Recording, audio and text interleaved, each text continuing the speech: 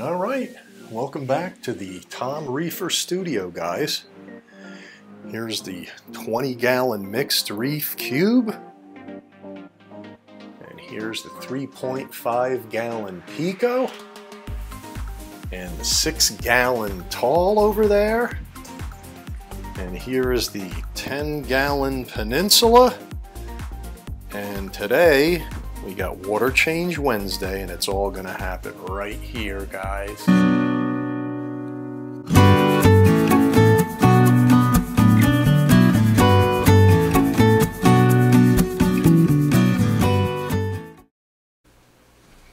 Nothing fancy today, guys, except it's Water Change Wednesday. One of the guys a couple weeks ago, when they saw that I played drums asked if I would sing. It's Water Change Wednesday.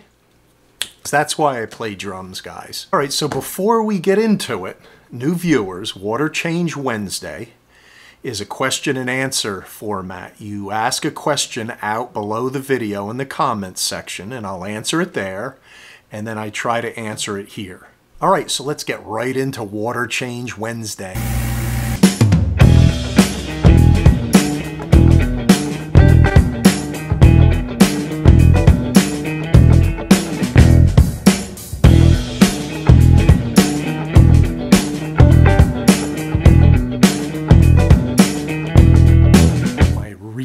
Green on again today, guys. I like reefer green and black.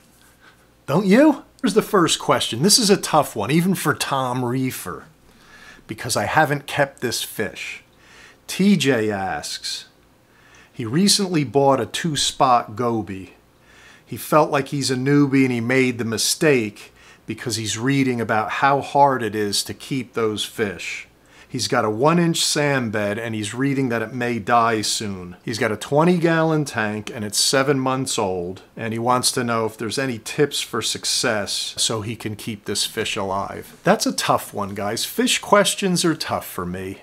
You know, because every fish reacts differently in a tank. What I recommended to him is to try some of these slow sinking pellets that I put in my tank. My goby isn't a sand sifter. They dig in the sand and they collect the food out of the sand through their gills. It's very possible you can get him to eat, especially if it's something that sinks to the bottom and will stay there. So Sustainable Aquatics makes a 0.5 millimeter and a 0.8 millimeter, and I think they even get higher.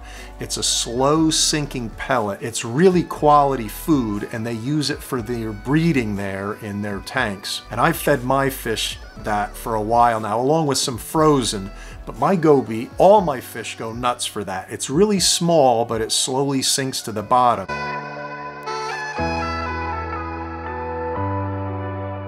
So what you might want to try, TJ, is that's sold on Amazon.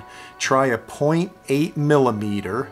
You mix it with a little tank water and you pour it in. Turn your flow pumps off for a minute so it can sink down before it goes into your overflow. And it's very possible that will sink to the bottom and kind of get in his vision and view. And if he eats it once or twice, he's going to like it.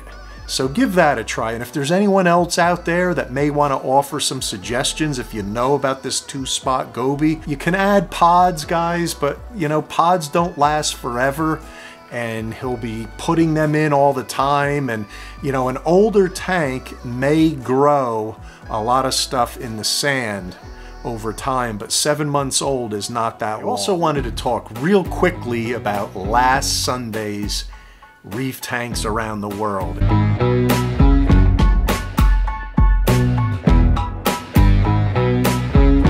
It really worked out well. Don't be upset with me if I send some information back to you. For example, today I wanted to show you a little bit about how to get the best color out of your reef tank. All right, obviously you can't send something like this, guys. It's too bright, right? So what I do is I tone it down. Now, if I go too dark, what I'm doing right now, I have iPhone, it's in 4K, and I'm lowering this. See, this is getting too dark. See how you don't see everything is dark in between the rock?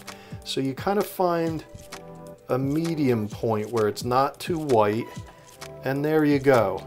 But let me show you what happens if you have too much blue light over your tank. Annie's Fanny asked me what my lighting hours were or photo period with the Kessil A80 over the six gallon and the percentage. Uh, and we had a correspondence back and forth.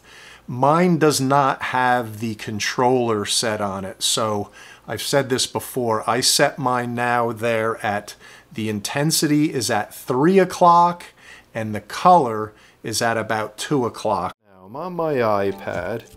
So I'm going in on the setting the Sol, and I'm in the lighting section. Now right now I have my standard lighting, which is 60% cool white, 35% royal blue, and 40% blue.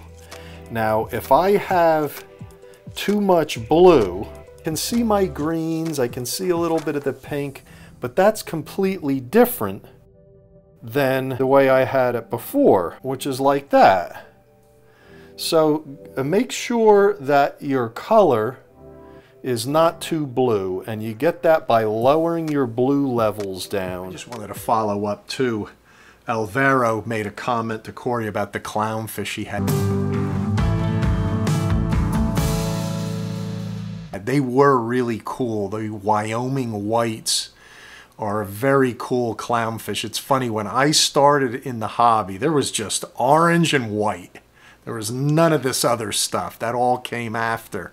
So it's really cool to see the crossbreeding and all the genetics and all the different types of clowns they have now. So very cool and very cool tank. Steven asks, question for Water Change Wednesday. Coralline algae, friend or foe? What say you? Will coralline algae outcompete nuisance algae or diatoms? Jeez, I feel like I answered this one. If I did, sorry guys, I don't remember. Anyway, coralline algae is great to have. If you, I answered this two days ago though. That was after Wednesday. Did he ask it twice? Hold on. All right, I don't know. I tried to look back to see if I can. All right, Stephen. No, um, coralline algae is a friend but it doesn't necessarily outcompete nuisance algae. What happens is it makes it more difficult for particularly hair algae to grow on it. It just doesn't seem to attach on the coralline. What I told him is try to seed your tank with some coralline algae. If you can get some from an LFS, like a live rock with some on it, or one of your other tanks, or, you know, if your live rock has it on it. Sometimes uh, snails and hermits have it on their shells. Anywhere it is, if you put it in your tank over time, it'll grow. I answered this question. Yeah, it's a good thing. Try You can't, you'd be waiting around a long time. Come on, Steven. That was, you must have asked that a month ago, maybe. I don't know. All right. So it's a good thing. Try to get it to grow and it doesn't outcompete, but it makes it more difficult for unwanted algae to grow on it. I'm losing it, guys. You know what's happening? I'm confusing what I respond to you in a video. So I'm thinking because I've responded to you out there in your question that I think I've talked about it already. So forgive me if I repeat or if I just seem insane. It's really simple. You just tone down your blue light and you increase your cool white, that'll make it a warmer color and you'll see more of your yellows, your reds. You know, you just see more color. I would do that to present. All right, guys. So there it is. That's how you do it. Try your best and we'll get you on the Tom Reefer channel. My macro algae died, guys, right down here in the 10. My caulerpa died.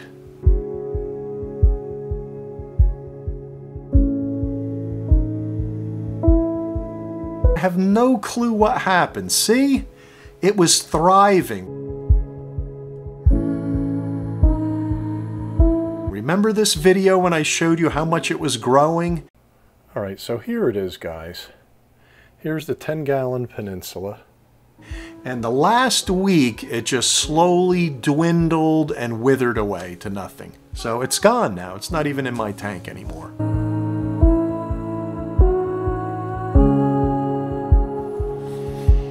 Well. Fabrizio! I just saw this now. You must have just sent it two hours ago. I didn't get to see it.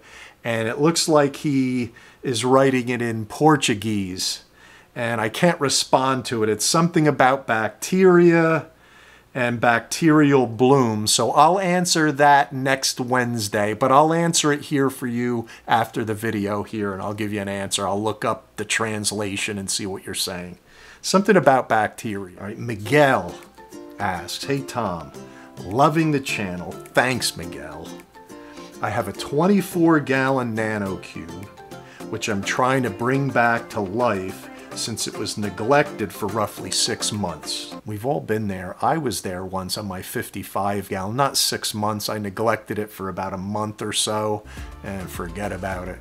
I can't even tell you what I had to do. Take the rocks out, scrub off all the hair algae that grew on it. Anyway, back to the question. I've been consistently doing water changes for the past two months now, 25% weekly. Let me interrupt right now. A neglected tank, 25% weekly is not enough, Miguel. You got to do minimum of 50%. And before I even get any further, if you had lots of hair algae in there, you're going to have to probably either take your rock out or get in there manually and scrub it all off you know, you might, might even want to do a 75 to 100% water change. Uh, he's been doing 25% water changes weekly and can't seem to lower nitrate. So that's why you need larger water changes. I recently did, oh, 250% and still have over 40 parts per million nitrate level. Any suggestion? 40 parts per million is not killer high. It is high, yes. I'm not saying it's not high but it's not killer high. So what I would recommend, Miguel, vacuum your sand bed. Get in there and suck all the gray stuff out of your sand bed. Take that out during a water change. It may take a few months to get it back and lower that down. Give me a little more detail of what you have in that tank and I'll answer it too next week. That should do it for today, guys. I can only tell by how many questions I answered, how long I'm behind this camera. I think it should be enough. Uh, I believe we will have a tank for Sunday, so I'm just keeping my fingers crossed that I get enough of the video together to be able to put that out for Sunday. All right, so have a great rest of the night, and I'll see you Sunday. Take care now.